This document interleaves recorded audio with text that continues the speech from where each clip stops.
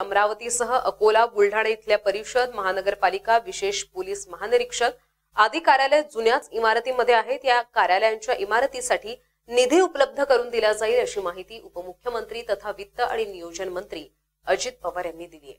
अमरावती अकोला बुलढाणा वाशिम जिल्ह्याच्या सर्वसाधारण वार्षिक योजनेतील येत्या वर्षाच्या प्रारूप आराखडे अंतिम करण्यासाठी बैठक घेण्यात आली यावेळी त्यांनी ही माहिती दिली आहे.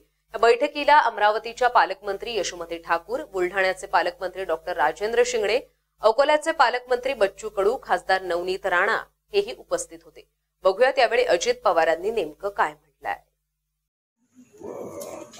जलसंपदा विभागाच्या इन्क्वायऱ्या लागलेल्या होत्या ओपन इन्क्वायरीच्या काळामध्ये हे सगळं चालू असताना त्या कामामध्ये सगळे गुंतून पडले.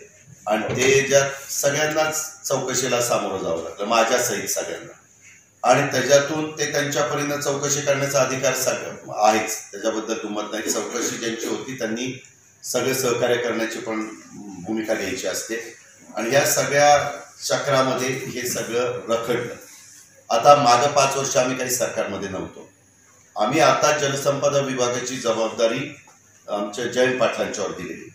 जयंत पाटलांना जो काही निधी लागेल तो निधी देण्याचं खबरदारी आम्ही सगळे मंत्रिमंडळातले सहकारी मिळून मुख्यमंत्र्यांच्या सहित सगळे घेणार आता त्यांना निधी दिल्यानंतर त्या निधीचं कशा प्रकारचं वाटप करायचं अनुशेष तर राहिलाच नाही पाहिजे याबद्दल प्रायोरिटी द्यान का मग अमरावती जिल्ह्यात? ऐकून घेत काय सांगतोय की त्यांना निधी देण्याचं काम माझं आहे. आता यांच्याकडे जे डिपार्टमेंट आहे ताईंकडे महिला बाल कल्याण आम्ही निधी देणार. निधीचं नियोजन आणि वाटप कसं करायचं ते त्या डिपार्टमेंटचे मंत्री महोदय ठरवतील तशा प्रकारे जयंतराव सगळा आढावा घेत आहेत. नवीन मंत्री झालेले आहेत. आढावा घेऊन त्यांचंही चाललेलं आहे. काय की आता परवा मुख्यमंत्र्यांच्या स्तरावर जिगावच्या संदर्भातली एक खूप महत्वाची मीटिंग झाली. त्याला हे पालकमंत्री हजर होते. आमचे मलकापूरचे नवनिर्वाचित आमदार पण हजर होते. मुख्यमंत्री होते. मी पण होतो. असे सगळेच आणि अधिकारी तर सगळेच जलसंपदाचे होते फायनान्सचे होते इतर ज्या विभागाची गरज होती तिचे होते. आणि त्याच्याही संदर्भामध्ये तिथे चर्चा झाली.